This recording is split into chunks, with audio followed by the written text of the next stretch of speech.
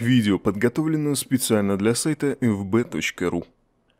Каждый родитель сталкивается с проблемой нехватки денежных средств, ведь со стороны ребенок это так просто, а на самом деле воспитание маленького человека занимает уйму времени и несет в себе большие затраты. Когда родители могут спокойно содержать себя и малыша, это хорошо, но что делать, когда денег просто не хватает, даже на самые элементарные вещи? Сейчас мы расскажем вам весьма интересную и добрую историю о том, как человек с большим сердцем предложил свою помощь без каких-либо требований о возврате долга. Смотрите видео. Наш главный герой Герой совсем недавно устроился в небольшую фирму, где количество сотрудников не превышало 10 человек. Парню и так пришлось нелегко, когда вместе с женой и шестимесячной малышкой они переехали из небольшого городка Аляски. Долгое и упорное стремление найти подходящую работу и жилье дало свои результаты спустя пару месяцев. Молодой человек вышел на пару минут на улицу, чтобы быстро поговорить с женой. Они немного повздорили из-за нехватки денежных средств. Мало того, что родители не могли выделить часть средств на бензин, так у них не хватало хватало даже на покупку смеси маленькой дочери. Парень пытался объяснить жене, что зарплата будет только 25 числа, и им нужно немного подождать, и все обязательно наладится.